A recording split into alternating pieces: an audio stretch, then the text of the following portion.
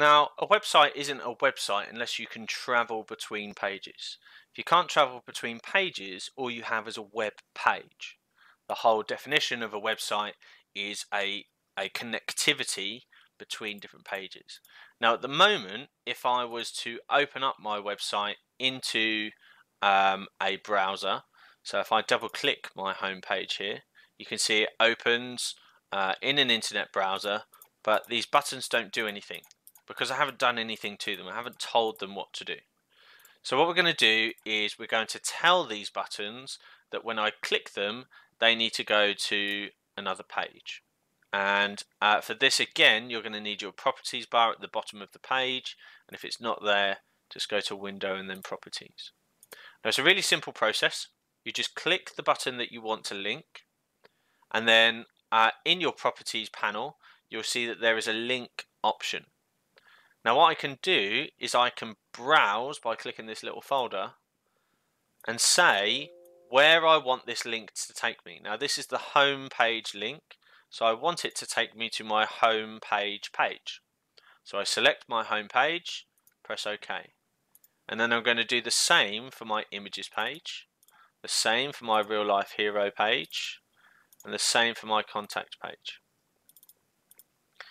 Um, once you've done this, you then need to repeat the process on your other pages. So I've only done this on my home page. I've not done it on my images page. So if I select the home button on my images page, you'll see the link option is blank here. So I'm going to do it again. Home, images, real life hero, and contact.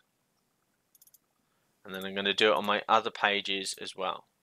Now once you've repeated this process for all of your pages, uh, once we click this button in a browser, it should take us to each of those pages. If it doesn't, it means that you've either missed that button or um, you have linked it to the wrong place.